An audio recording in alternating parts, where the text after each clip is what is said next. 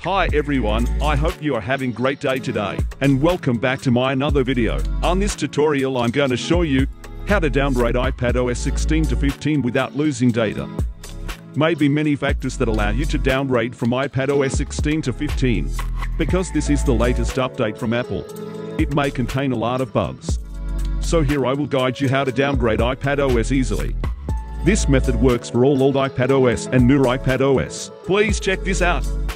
First of all, please plug the iPad to computer with USB cable.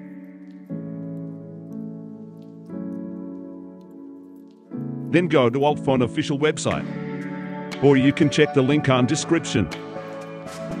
If you want to downgrade your iPad, please use UltFone iOS System Repair.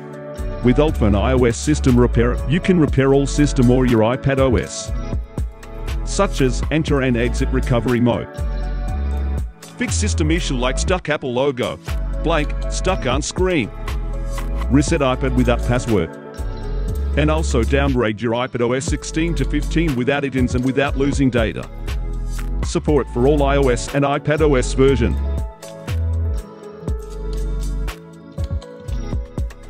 Not only that, many system problems on iPad OS can be fixed with this tool. Of course, fix the problem on your device without losing any data. I very recommend you to use this tool because so many benefit to fix your iPad, iPhone and iPad. Okay, please download UltFone iOS System Repair on your computer. It is available for Mac and Windows.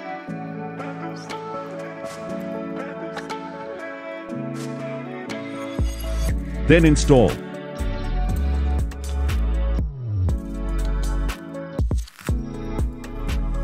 Please launch UltFone iOS System Repair.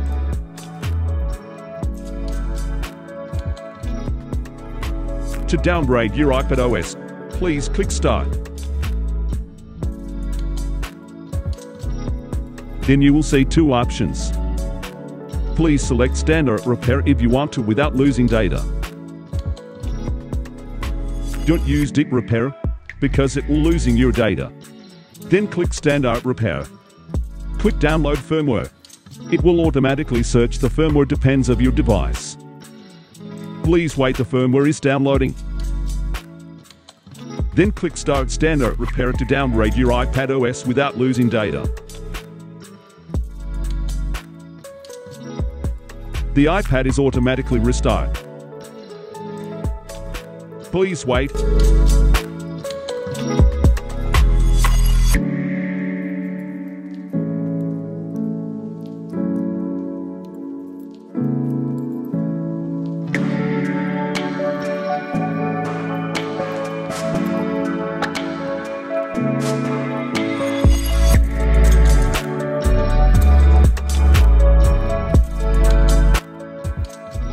UltFone iOS system repair is downgrading your iPad.